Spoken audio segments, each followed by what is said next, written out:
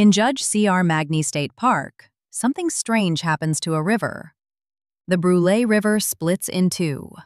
One half cascades normally downstream, but the other half vanishes into a massive, mysterious hole called the Devil's Kettle.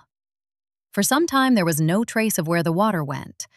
For years, researchers tried to solve it. They poured dye, dropped ping pong balls, even used GPS trackers. None of it was ever seen again.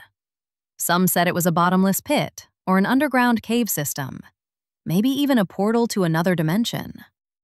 But in 2016, hydrologists got serious. By measuring the river's flow above and below the kettle, they found the missing water was rejoining the river underground, just farther down than anyone expected. The Devil's Kettle wasn't magic, just geology doing weird geology things. But still, watching that water disappear feels like the Earth itself is keeping secrets.